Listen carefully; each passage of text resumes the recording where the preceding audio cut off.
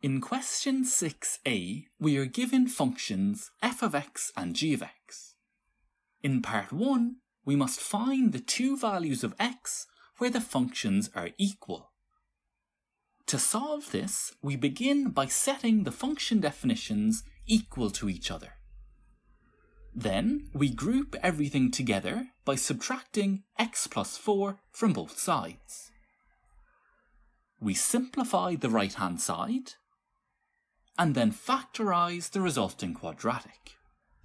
The only way two numbers can multiply to zero is if one of them is equal to zero. So either x minus 3 is zero or x plus 2 is zero.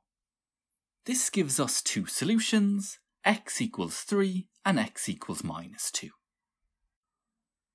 In part 2, we need to find the area of the shaded region in a diagram. In the given interval, f is always greater than g, so we can obtain the area by integrating f of x minus g of x between the given bounds of minus 1 and 2. f of x minus g of x simplifies down to x minus x squared plus 6. We integrate this expression, sub in the upper bound of 2, sub in the lower bound of minus 1, and then subtract the answers. This gives us a final answer of 33 over 2 square units. In part B, we have an equation involving an integral, and we must solve for the unknown constant b. To begin, let's forget about the limits and focus on the integration b is a constant, and multiplicative constants can be brought outside the integral sign. Now we can integrate e to the bx using a rule from the formula book. Simplifying gives us an answer of e to the bx.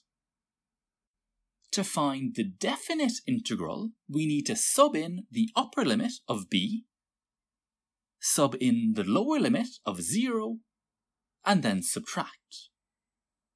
Simplifying this gives us e to the power of b squared minus 1. We can write this expression in for the integral on the left-hand side of the given equation. From here, we add 1 to both sides, take ln of both sides, and then square root both sides. The question stated that B is positive, so we only want to take the positive solution.